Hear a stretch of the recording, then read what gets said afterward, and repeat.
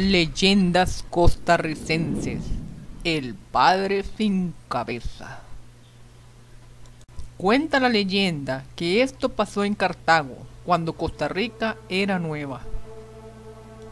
De España vinieron dos hermanos, uno de ellos devoto de la cruz, el otro de la espada. A buscar fortuna vinieron, pero la fortuna no les sonrió. El de la espada, que venía por el oro, no encontró tal cual. No eran tan ricas estas tierras como se mentaban en su patria, y le tocó, como a muchos, asentarse, voltear montaña y dedicarse a sembrar.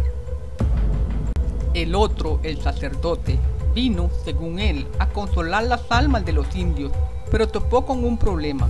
Los indios no querían ser consolados.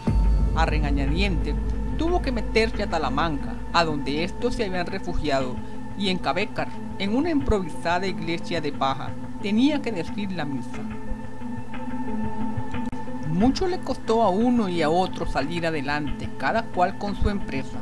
De vez en cuando, cuando los indios se ponían bravos, el gobernador de Cartago reclutaba hombres y se metía a la cordillera en plan de castigo.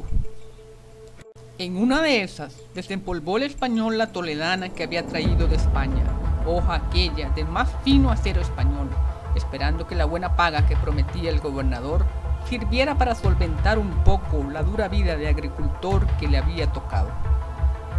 Al pueblo de indios en Cabécar se vino a topar con el cura, su hermano, quien le salió al paso. La mayoría de los indios eran buenos promesanos, que ya sabían el credo, le cantaban a la Virgen y daban el diezmo. Desoído por el gobernador y sus hombres, trató por lo secreto de convencer a su hermano de la barbarie que significaba aquello, quemar las chozas y esclavizar a los indios para darles una lección por culpa de unos pocos. No hizo caso al hermano y a los indios azotaron, engrillaron y llevaron a Cartago.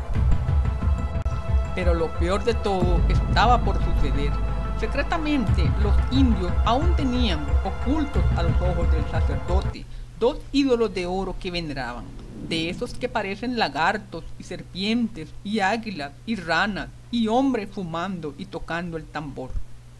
Durante el saqueo de la villa, el hermano del cura encontró aquellas dos primorosas obras de arte colgadas detrás de una pared de madera en un improvisado templo pajizo, a donde los indios iban a escondidas para rendirles honra. Era aquel oro lo que él había venido a buscar, por lo que había dejado la árida Castilla por aquella tierra y aguaceros y ríos y volcanes, y sin pensarlo dos veces se lo llevó a Cartago. Fundió los ídolos que robó y con aquel oro hizo una gran fortuna. Pero no le gustó haber quedado en malos términos con su hermano, así que decidió volver a subir a Talamanca. Allí lo encontró en su choza de paja, dándole la comunión a sus indios. No quiero que estemos bravos, dijo simplemente el joven. Aquí te traigo un obsequio. Y sacó una cadenita de oro con un crucifijo del mismo metal que había mandado hacer especialmente para él, aunque sin decirle de dónde había salido. No tanto por el crucifijo, sino por el amor de hermanos, el cura aceptó el regalo y dándole un abrazo se reconcilió. Pero los indios que habían atestiguado el encuentro sabían muy bien que aquella prenda había sido alguna vez parte de sus dioses robados. No tardaron los indios en vengar la afrenta. Unos días después, de entre ellos se levantaron dos y atizando la hoguera de la guerra entre los pobladores de la tierra adentro, todos los indios se levantaron en revuelta. Atacaron los poblados, pasando al que encontraban a cuchillo. Y el cura, intentando calmar los ánimos, les salió al encuentro. Cuando los indios vieron al sacerdote del dios de los conquistadores, que llevaba al cuello aquel crucifijo de oro, símbolo de la traición, lo tomaron y lo decapitaron, pues aquellas gentes creían que al tomar la cabeza de un enemigo se adquirían de esa forma los poderes y el saber de aquella persona. Cuando aquello se supo en Cartago, otra expedición de castigo se organizó y los responsables de aquella masacre fueron capturados y ejecutados. La cabeza del líder de los indios, un guerrero valiente que era el más temido de Talamanca, fue tomada y colocada en una pica y puesta en la plaza mayor de la ciudad como ejemplo. El hermano del cura, que había participado de la nueva aventura, esperando en vano encontrar a salvo al clérigo, no obtuvo sin embargo ni rastro de lo ocurrido. Nunca supo el cruel destino que a éste le había tocado, y aunque sentido por la pena, prefirió callar y olvidar. Con el tiempo conoció a una señorita de buena sociedad, a quien pidió matrimonio. El día de la boda asistieron los principales de la ciudad de Cartago, con gran regocijo reunidos en la parroquia dedicada a Santiago, patrón de España y primer patrón de Costa Rica. Los novios se acercaron al altar mayor y se hincaron, mientras el sacerdote decía la misa en latín, dándole la espalda. Llegó la hora de la comunión. Ambos novios rezaban con la cabeza baja, mirando al suelo.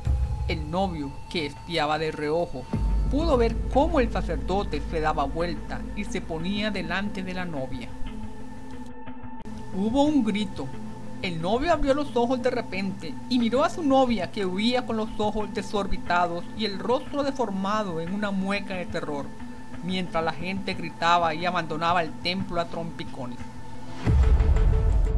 Entonces levantó la mirada y vio delante de sí la decapitada figura de un sacerdote que le ofrecía a los labios una hostia ensangrentada. Pero lo que en verdad le horrorizó fue descubrir en aquel espectro, colgando sobre su pecho, aquel crucifijo de oro que ya hacía tanto le había regalado a su desdichado hermano. Lo que pasó después no queda claro. Algunos dicen que en aquel momento hubo un gran temblor y el pequeño templo de madera se vino al suelo, sepultando al joven y al fantasma de su hermano. Otros cuentan que, enloquecido por el dolor y la culpa, el joven soldado se volvió loco y escapó dando grandes alaridos, yendo a internarse en Talamanca, de donde nunca más volvió a salir. Pero de eso hace ya mucho, mucho tiempo, tanto que la historia ya se pierde entre las olas de los siglos. Un par de ocasiones se ha intentado levantar de nuevo el templo, pero en ambas los estremecimientos de la tierra han impedido a los buenos parroquianos de Cartago llevar la empresa a feliz término, dejando de la vetusta iglesia no más que ruinas que ahora son símbolos de aquella tierra.